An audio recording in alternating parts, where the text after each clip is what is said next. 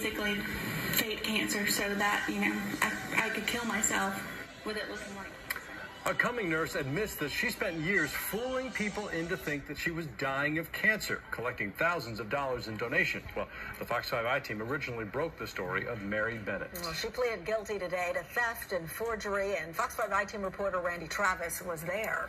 Yes, and uh, Russ, uh, Bennett told the court she started faking her cancer diagnosis in 2013. According to her, the lie was all part of a plan to ultimately take her own life because she was allegedly molested as a child.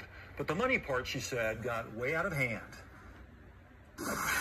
it wasn't about the money. Um, it was about my mental Ill- illness. In a case that saddens so many in Forsyth County, Mary Bennett has revealed her reason why. Childhood sex abuse had left her suicidal. $1,000 for a woman dying of brain cancer.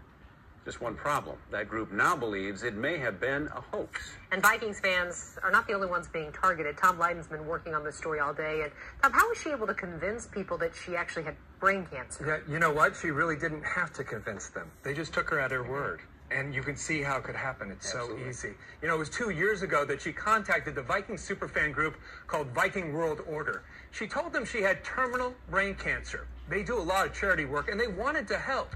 But now they believe they fell for a con artist who preyed on their kind hearts. There she was on draft day, hoisted above the fans, even making it into the Star Tribune. She had front row seats for the Green Bay game, field access too, of course, because Margaret Jean Brazina had terminal brain cancer. Did you actually end up doing any fundraising for her? Oh man, did we ever? Or at least that's the story she told the superfan group Viking World Order.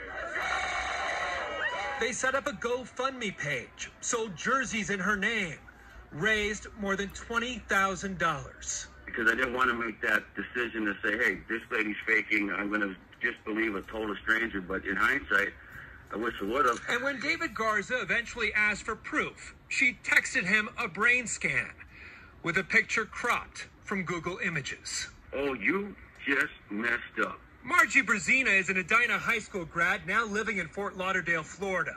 She has a rap sheet in both states for theft and fraud and a half dozen aliases. She's allegedly told the same story to Miami Dolphin fans. And Pittsburgh fans recently sent out this notice calling her a scam artist. What is her issue, do you think, truly? What, what, what's... I, uh, she she doesn't have a job. She has no income. Melinda Mossberg is a former friend in Florida and a diehard Vikings fan who finally blew the whistle. Is how do you prove someone doesn't have cancer? And who wants to be the villain to say she doesn't have cancer? Uh, and I felt really used and taken. Joe Lamont took her to that Green Bay game, even loaned her money, and began to wonder why she never took medication, why she drank so much. The walls of, uh, of belief started crashing down. The lady turned out to be a pretty mean person. She threatened to sue the people who gave her money. And yet, in the truest test of their charity, they say they would do it again, just maybe more wisely. We're never going to give up our mission to help people and be a charity organization. Um, we're just, I guess, going to have to just do a little more due diligence on situations, unfortunately, because of what we went through. But we're never going to stop helping people. We tried in vain to contact Margie Brazina today, left messages on her numbers in Florida. She's taken down her social media profile. We even reached out to family members here in Minnesota, but never heard back. We should point out the Vikings have nothing to do with this fan group, and they told us they were unaware of this whole issue until we brought it to their attention. Was faking cancer. It gets worse. She even set up a fake charity and used the money to take vacations. A lot of vacations. Here's News 13's Amanda Goodman. Just Elizabeth Bateman had everyone fooled. Even her friends and family thought she was dying of cancer. Elizabeth Bateman makes a compelling case. In this video and in postings on her own blog, the 34 year old from Los Alamos says she has terminal cancer. She said that she wanted to start an organization uh, that helped young adults Sí, with después yo le explico. terminal illnesses. Que tenía un cáncer terminal este caso del cerebro. Y todo era mentira. Le estoy mostrando aquí varios casos de diferentes personajes que se hacían pasar que tenían cáncer terminales y la gente le creía y las donaciones eran tremendas.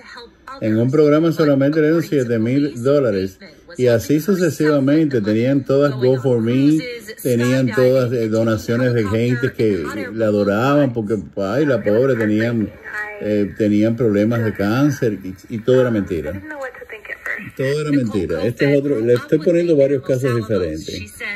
Arrestadas, todas han sido arrestadas. Aquí se hacía pasar por acostada, enferma, se ponían gomas. Tenían amigas enfermeras que las hacía pasar por esa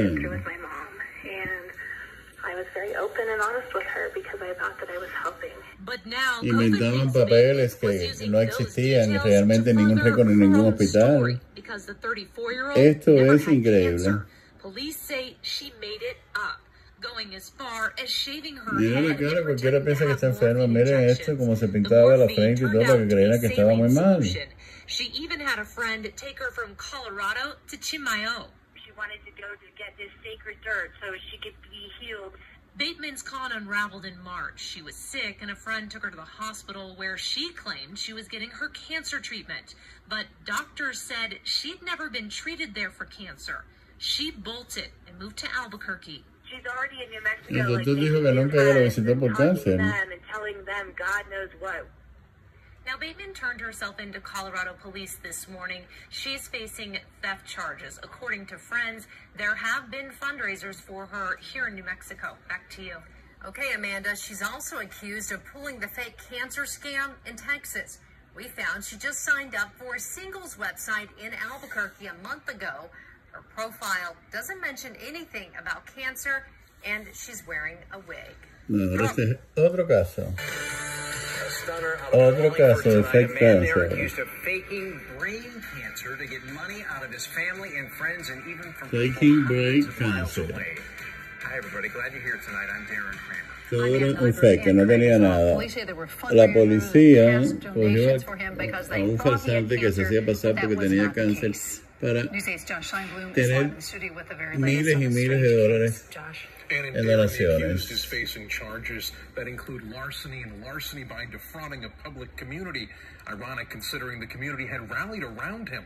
For example, his high school alma mater in Wallingford held a fundraiser in his honor after people there got wind he was claiming to have been diagnosed with cancer. It makes people have to wonder, well, you know, what's true, what's not true. And it's just, it makes it very hard for those who really, really need the help. Neighbors of 29 year old Tyler William yeah, of Wallingford are angry after learning he'd been pretending to be afflicted with terminal brain cancer. If he did it, he ought to um, face whatever he should get. Tomer is accused of using an illness he didn't have to defraud well intentioned donors out of more than $22,000. Also, he could line his own pockets. Wallingford police say they were tipped off that Tomer was making up being sick after one of his relatives raised their suspicions to them. He played it up very well. He would attend, uh, go down to Sloan Kettering. He'd bring people with him. Uh, esto de hacer esto de, de hacer creer a miles y miles de personas que son después seguidores fieles y donan mucho dinero. Esto es un gran eh, delito aquí en los Estados Unidos. Y yo creo que en cualquier parte, al final terminan en una cárcel. Al final terminan en una cárcel. Porque con eso no se juega. Además con, la, con los sentimientos, con el corazón de las personas. Y miles y miles de personas y de casos, aquí le estoy poniendo casos en Estados Unidos. Porque eh, hay miles hay miles. Y el problema es que con todo el dinero que le donaban, se daban después de tremendas vidas, se iban grandes vacaciones, se iban de bebedera, de tomadera, de rumba, de todo lo que, como que lo diga. Y se compraban todo lo que les daba la gana. Todo era una infamia y una mentira. Fake cancer. Le estoy explicando a las personas que pues no hablan inglés para que entiendan de qué se trata esto. Le puse varios casos aquí hoy para que realmente sepan toda la cantidad de personas que hay, miles y miles y miles y miles y miles y miles aquí y alrededor del mundo. Que, que se hacen pasar que tienen cáncer, esta enfermedad tan terrible que sí se ha llevado a tantas personas, a tantas personas Y estas personas sin dignidad pues hacen creer eso a muchos de sus seguidores. Y esto es muy triste. Y bueno yo voy a seguir poniendo videos cada rato sobre este tema porque es un tema escabroso sinceramente. Algunos casos han pasado hace seis meses otros dos años otros tres al final ocho años tres años dos años cuatro al final son descubiertos y terminan donde tienen que terminar en una prisión federal porque eso es un delito grande federal Denme sus opiniones, amigas y amigos, y díganme qué ustedes creen de todo esto. Sigan, síganme, pónganle su like, apriete la campanita para que sigas recibiendo mis notificaciones. Y si les gusta mi canal, con mucho gusto, yo les doy la bienvenida. Suscríbase. Un abrazo.